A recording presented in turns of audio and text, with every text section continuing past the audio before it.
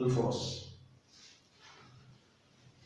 لما نتكلم عن الفرص نتكلم عن القيمة المضافة للزبون أو العميل والسوق اللي موجود فيه المنتج والخدمة هل يعني أنت لو لو شخص عندك منتج هل المنتج هذا يضيف قيمة للزبون أو العميل؟ أو تحديدا الزبون لأنه نتكلم عن منتج الآن والمنتج هذا فين هو موجود؟ في أي سوق؟ هل في السوق آه، الأفريقي السوق الأوروبي السوق الأمريكي آه، أي سوق موجود فيه؟ وأي طبقة موجودة مستهدفة موجودة فيه؟ إذا كنت شخص مقدم خدمة أنت موجود في أي سوق.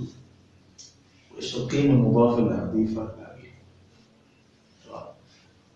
هذه هي الركائز الأساسية طبعا تختلف الفرص من مكان لمكان من صناعة لصناعة ومن آه، شريحة لشريحة لكن ما في ما في شيء محدد للرغبة هذا شيء متروك لك حسب تجربتك وحسب المجال اللي انت فيه وممكن انت تشوف الفرص أفضل من من الشركة.